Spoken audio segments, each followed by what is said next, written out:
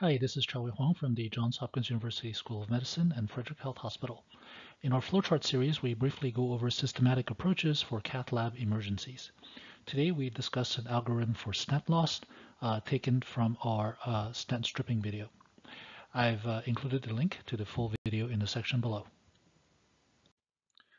All right, so in this situation, the first thing you need to do is ask yourself if your stent is still on the wire. If the answer is yes, then ask yourself whether you can just deploy the stent where it is. If the answer is also yes, in other words, if your stent is still in a reasonable position and you can get a balloon to cross, then the solution is just to deploy the stent. If your stent is not on the wire, then ask yourself whether you can crush the stent in place. If the answer is yes, then pass a parallel wire, ideally adjacent to the stent, and crush it with a second stent. Passing the wire could be quite tricky though, especially if the stent is mangled or oriented uh, in a funny way. Your wire might go through the stent struts, but that's actually okay. If that happens, you'll have to dilate the stent cell with a balloon before being able to pass your second stent to crush. What if you can't uh, deploy the stent or crush the stent? Uh, this could happen if your wire, balloon, or equipment uh, can't cross the stent, or if the stent is badly mangled, or if the stent protrudes a lot into the aorta. Or it could be a location issue. You might not want to deploy the stent or crush it in the left main, um, or at a major bifurcation, or in a small branch. When, well, then the next question is to ask yourself whether you can just leave the stent alone.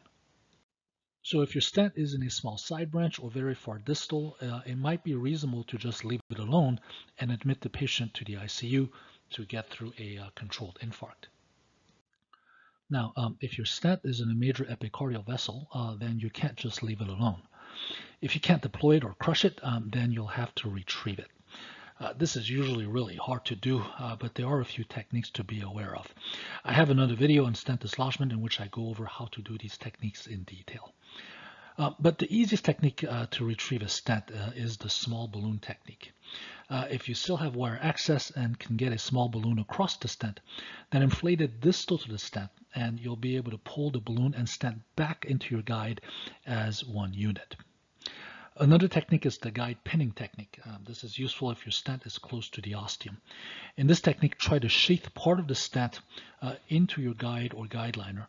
Then inflate a balloon in the guide next to the stent. Uh, this pins the stent against the wall of the guide and you'll be able to pull everything out.